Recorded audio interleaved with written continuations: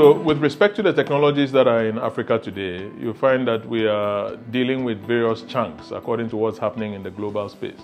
So, you have content, you have um, AI and big data, and some of these things also going on in another corner. You have cryptocurrencies coming up in another space.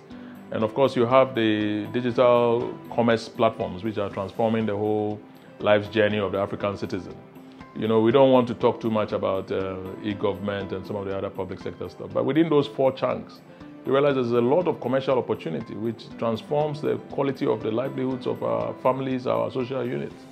And it is important that we take steps to leverage this and scale it so that young people can have jobs, so that uh, conversations can be held among uh, aspiring entrepreneurs, so that industry can boom, so that institutions can be renewed.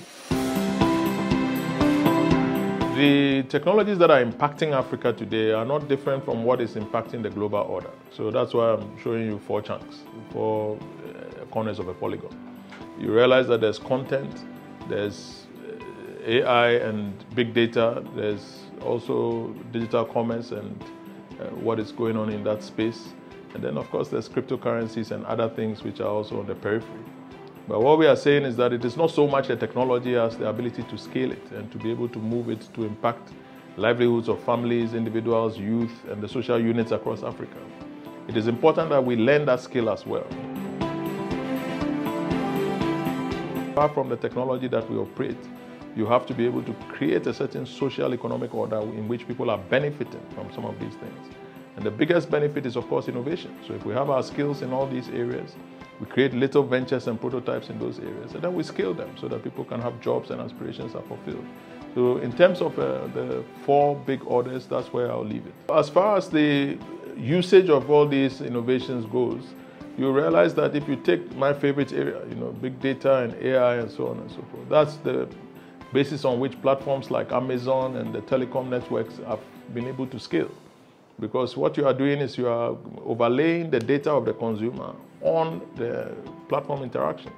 So everywhere the consumer is, you have an idea what they are doing. The danger of that technology is also when you try to make it impersonal, where you know a person, you know their name, you know their family, but you still want to see them as a data point, and that's that's also not too good.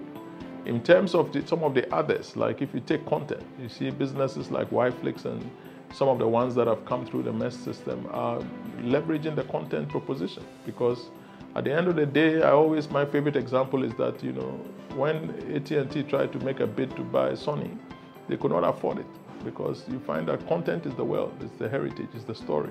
So there are many examples of what is going on in this space, but I think those are the two central ones that illustrate what the point that we are making.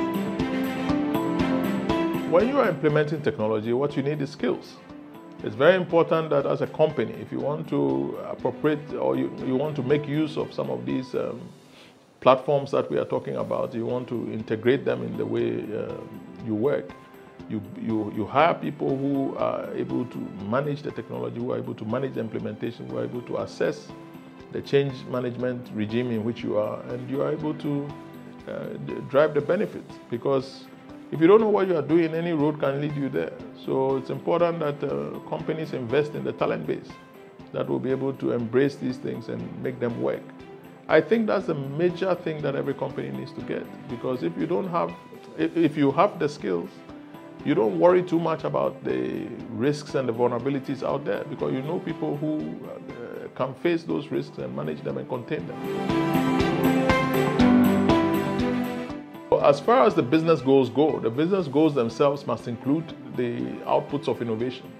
A business would not exist solely to be innovative, but it wants to leverage the outputs of that innovation.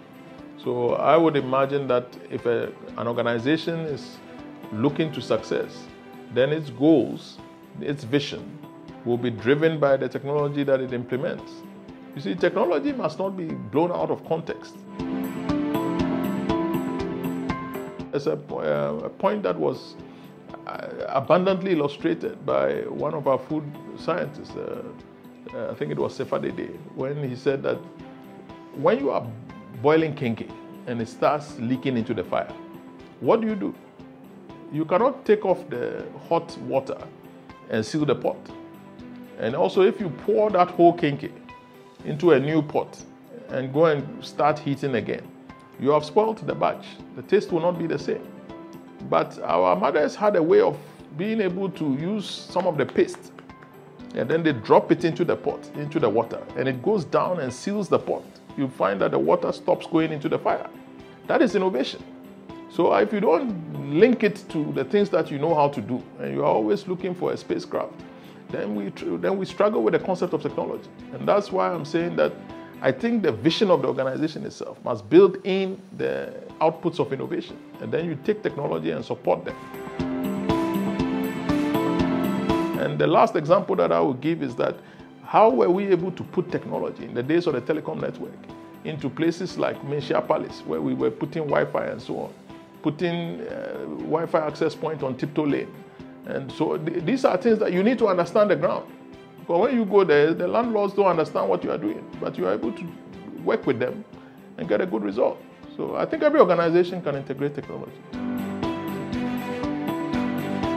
So what we are saying is that the technology discussion is a serious discussion. And we must separate it from politics, we must separate it from money making. Everything that we do is around the fact that if you are able to build a society that allows the digital technology to provide jobs for young people, then you have a win win situation where a big company at the apex is making profit and young people at the base are also servicing. I think that job is something that there are skills for.